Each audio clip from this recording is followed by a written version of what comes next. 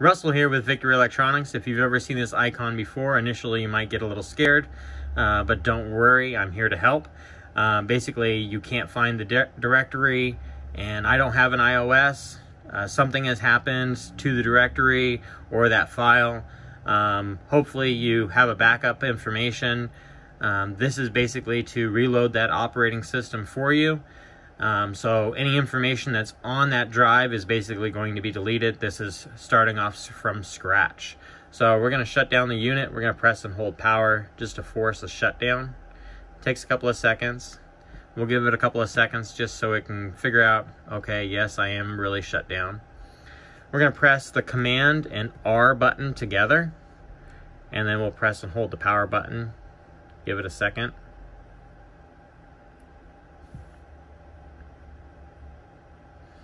You'll see your little Apple icon come on and then your internet uh, security comes on. We need to log on to your network.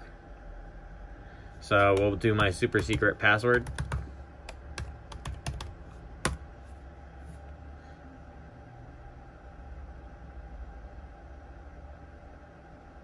Okay, from here it's loading up some files onto our uh, temporary information so that we can uh, access Apple servers, we can download the iOS, and proceed through reloading the operating system. It does take about a minute or two um, for this to figure out what's going on. It is loading some files onto your drive. Okay, we're back and we're all loaded up, so I'm going to walk you through this. First step we're going to do is go over to our disk utility, press continue. Brings you up to a sheet like this. So what we're going to do is under the internal drive, we're going to grab whatever the drive is here. This one's untitled. Um, I've already deleted it. Um, we're just going to delete it again. No matter what the title is, um, we're just going to delete whatever is there. You can give it any name you want. So name you want, whatever. So erases it, gives it a new title.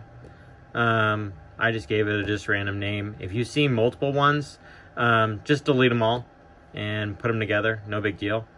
Um, then we're going to go back here, just X out of that, and then we're going to hit reinstall Mac OS. So press continue.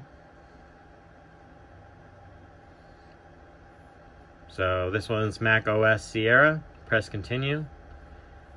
To download and restore Mac OS, your computer's eligibility will be verified with Apple. So you need to make sure that you're connected to Wi-Fi at this point.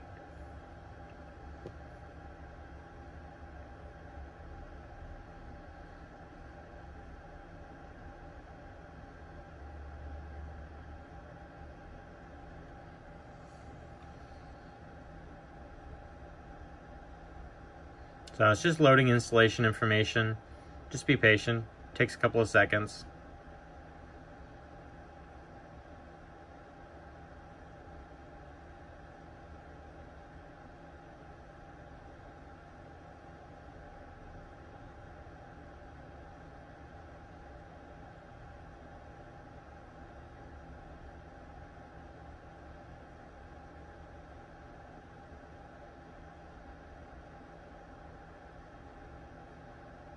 All right, here we go. So you have to agree to their software license agreement. No one ever reads it, doesn't matter, just agree. Select your drive, so this is the drive I just selected, name you want. And hit install, and away you go. Um, this process, depending on your Wi-Fi connection, can take anywhere from 5 minutes to 20 minutes. Um, really just depends.